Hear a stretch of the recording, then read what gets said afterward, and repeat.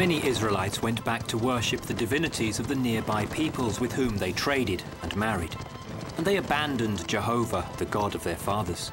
Therefore, Jehovah the Omnipotent, creator of heaven and earth, gave them into the hands of their enemies.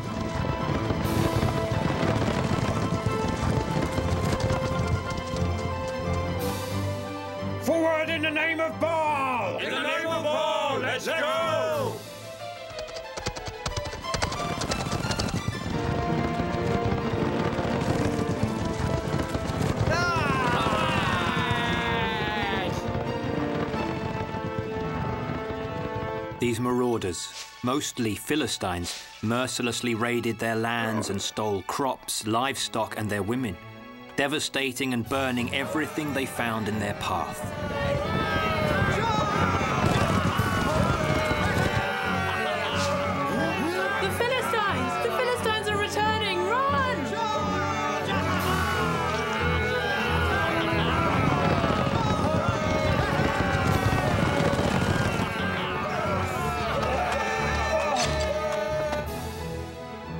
Take everything! To urge them to return to their faith, Jehovah was continuously sending prophets and judges such as the wise Deborah and the powerful Gideon to his people. But the children of Israel only obeyed them to save themselves from danger. As soon as the danger was gone, they went back to betraying Jehovah, sinning, and worshipping Baal and gods made of clay or stone, which were worshipped by other people.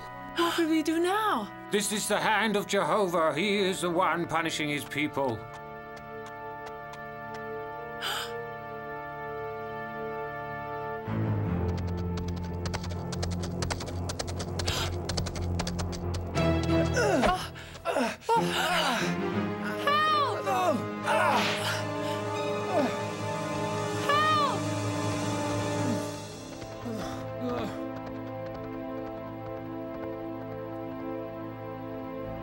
In the village of Zoreah in the land of Canaan lived Manoah, an Israeli of the family of the Danites who was still faithful to the Lord. Manoah did not have any children, but one day an angel sent by Jehovah appeared to his wife and announced to her that she'd soon conceive and bear a son who would be a Nazarite, that would be exclusively devoted to God from the womb to the day of his death. And so it happened. What will you call him? Samson, son of the sun.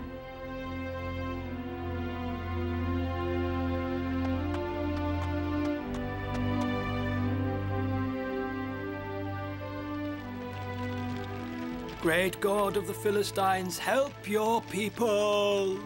Great God of the Philistines, help your people! The baby grew, day after day, year after year. His hair was sleek, with 12 locks as a mark of his consecration to God. According to tradition, it should never be cut.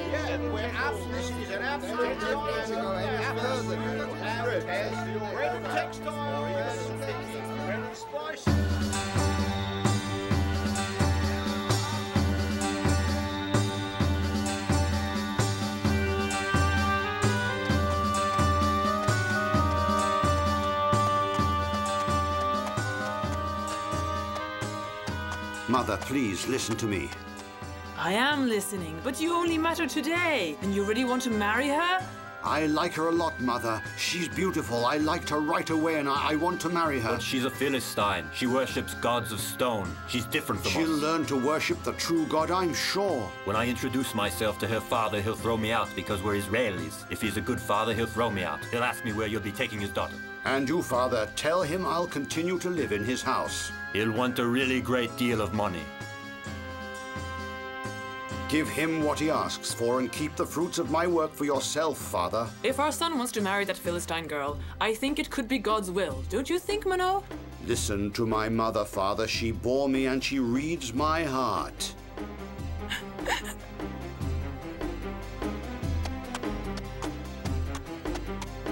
We love you very much, Samson. We'll both go with you now to the village of the girl's father. I bless you, Father.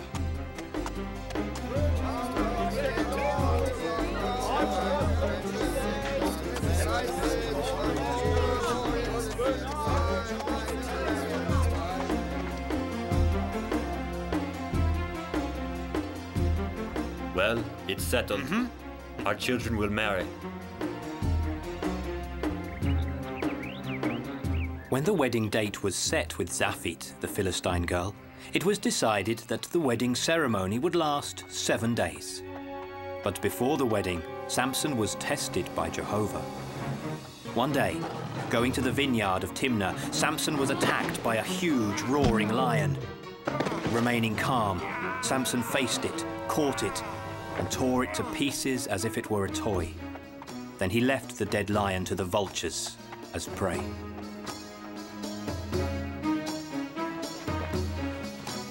Sometime later, Samson passed by the same way, and he wanted to see what had happened to the body of the lion. He found it putrefied, but still intact, covered by a swarm of bees coming out from a huge hole in the belly. Samson put his hand in and drew it back full of honey. He ate the honey on his return home.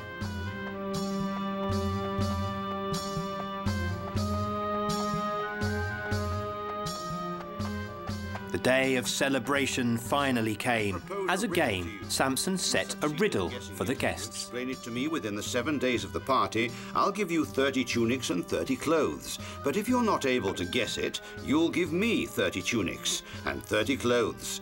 This is the riddle. Food came out of the eater, sweet came out of the strong. He explained the solution to his bride, who was forced by her father to explain it to the guests. What is the answer to the riddle?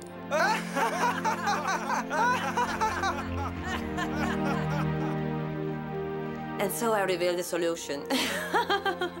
When Samson found out that his bride had disclosed to the Philistines the solution of the riddle, he became very angry.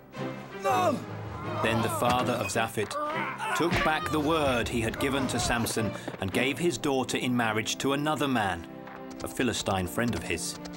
And he forbade Samson from seeing her, and Samson declared war on the Philistines. Samson took refuge in a cavern on the rocks of Etam. One day, while he was standing and looking at a wide wheat field, he thought about which way he could take revenge on the hated Philistines, and everything became clear to him. He went back into the cavern where he had locked up 300 jackals. He captured and he took one of them. Now the Philistines will know of what Samson is capable of. He tied a little sheaf of dry straw to the tail of the jackal. He lit it and let the poor animal run across the wheat field. Then he did the same thing with all the other jackals, and when they crossed the wheat field too, they caused an enormous fire and the loss of the wheat, of course.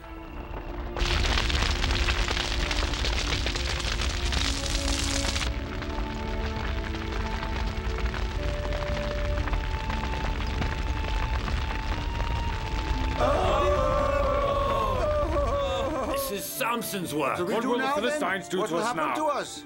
Samson, we are forced to deliver you to the Philistines, otherwise they'll kill us all. You must come with us. Samson offered his hands and obeyed as they were tied together. Then he was fastened with 20 ropes around his body as though he were a wild beast. the people took him and delivered him to the Philistines to be punished for what he had done. Now we'll tear your eyes out and burn you. But while he was surrounded by the Philistines, Samson showed his incredible strength once more. With a violent pull, he freed himself to confront the soldiers with his bare hands. Then he took a bone from the skeleton of an animal and began to whirl it like a club against the men and against their swords until he had defeated them all. After checking round, he mounted a camel and quickly disappeared.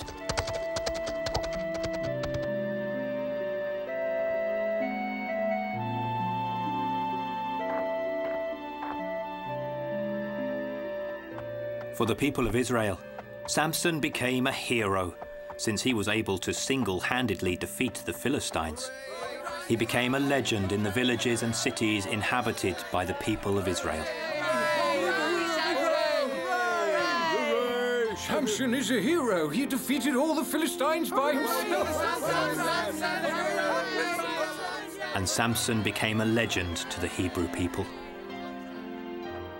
For over 20 years, he was a judge in Israel, and the people turned to him when they needed protection and justice. And for over 20 years, no one was ever able to defeat him. After wandering from one place to another, finally Samson arrived in the city of Gaza, but the Philistines were waiting for him. And that same night they closed the city gates to trap him and to take their revenge. At about midnight, Samson went towards the gate to get out, and he realized then the trap the Philistines had set. With the enormous strength of his bare hands, he tore down the gate and escaped their revenge once more.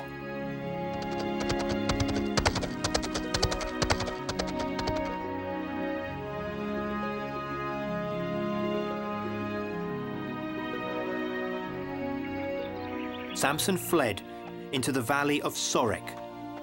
And when he arrived in a square, he saw a young woman who was drawing water from a well.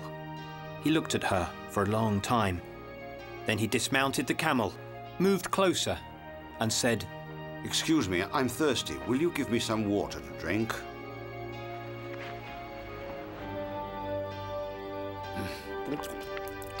Who are you? My name is Delilah, stranger. You are beautiful and your eyes are wonderful. I'm a Philistine. Which region do you come from? If you want, you may come into my house. I am an Israeli and I'm faithful to my God. Come with me. I'll take you to my father. Delilah took Samson into her father's home to refresh and to feed him. Samson, enchanted by her, fell in love with her to the extent that he stayed for some time in her home. And then, one day,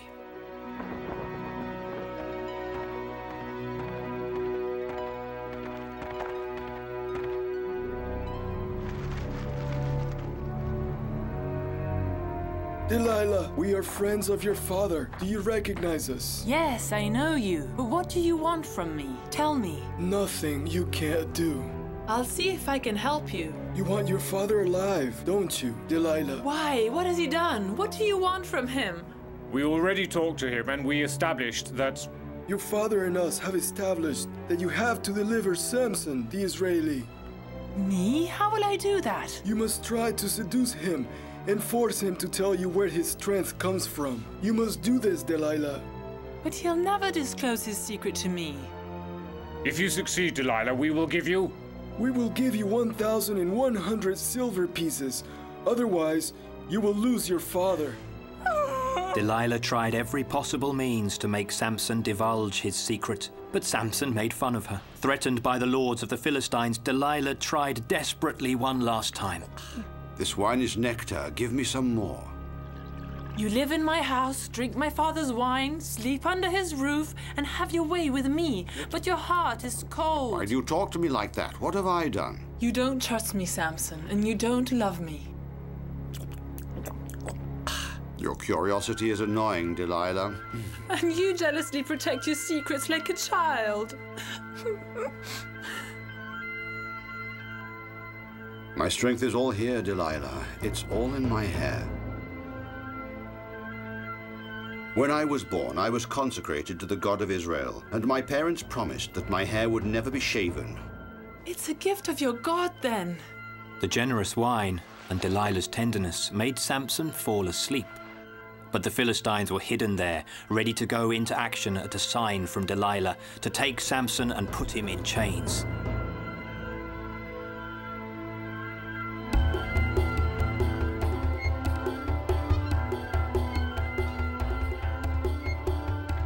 While Samson slept, Delilah, armed with a huge and sharp knife, cut one by one all Samson's plaits and let them fall to the ground. Then she showed herself at her front door and called for the Philistines, who ran up in great number.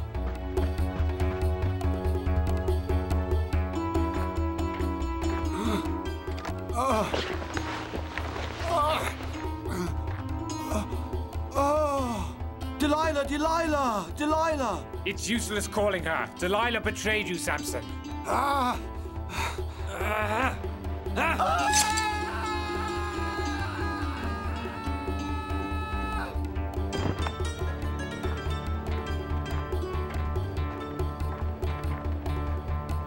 There's no need to beat him up. We blinded him. Now we'll take him to Gaza. He'll push the lever of the well for the rest of his life. Look at him for the last time. This was the strongest of the Israelites. The Philistines took Samson to the city of Gaza and shut him in a prison. The prison of Gaza was a fortress in the center of the city. It was protected by high walls and by an enormous iron gate. Inside it, there was a courtyard with a big millstone. Samson was chained to it and forced to make it turn. The people of the city had become curious because of the fame that preceded Samson's arrival, so they gathered there in great number at the gate and commented upon him. Did you see what they did to him? He was the strongest man in the world, and a woman was enough to reduce him to this. Now Samson had an enormous trouble turning that millstone, because working animals were used to do it generally. Even the last donkey that had been freed from that tough work seemed to like making fun of him. At sunset, after another day of that extremely tough work, Samson was unchained and taken to a wretched cell where he spent his nights.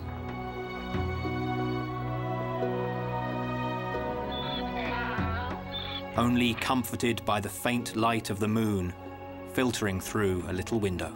Lord, I cry my sin. I beg your forgiveness and I, I cry my sin, Lord. Forgive me. Time went by, and the day came when the Philistine princes gathered to celebrate and offer to Dagon, their god, a great sacrifice. Today is Dagon's day, and Samson will be sacrificed. They say that Samson can jump up like a cricket and strike the enemies without seeing them. Do you think the priest will remove his chains? No, no, it would be a risk for all of us Philistines.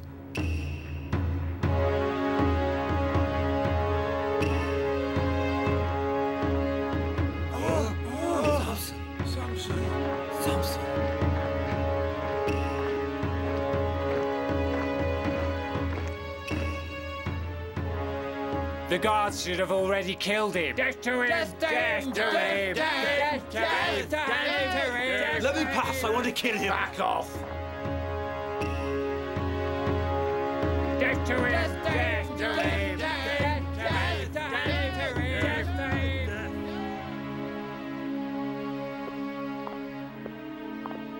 Go in. The god is waiting for you. Don't make him wait, Samson. What's the name of this god?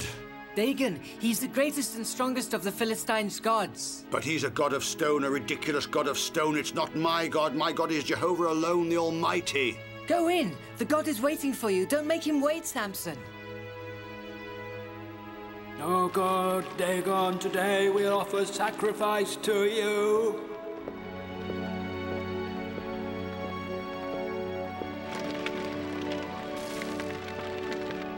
Oh,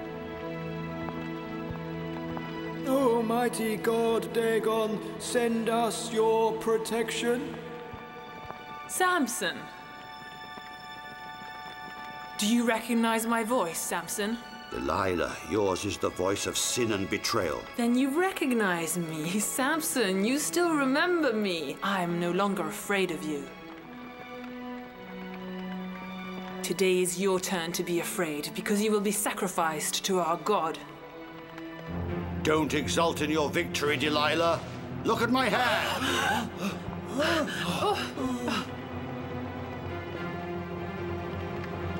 It grew back. Jehovah's enemies and all those who betrayed will now be punished.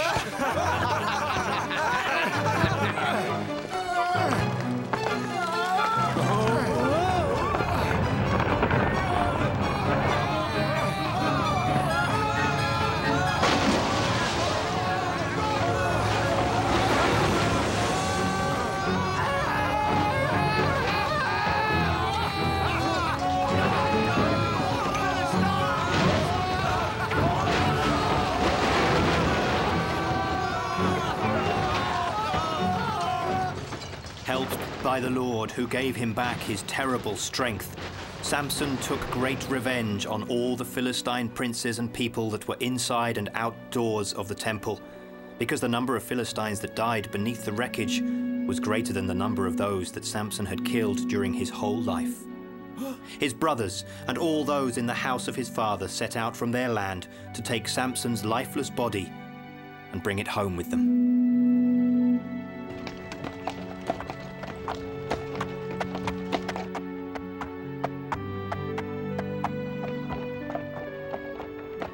His kindred turned back to their lands with the coffin and buried it, and paid homage to Samson in the sepulchre of Manoah, his father.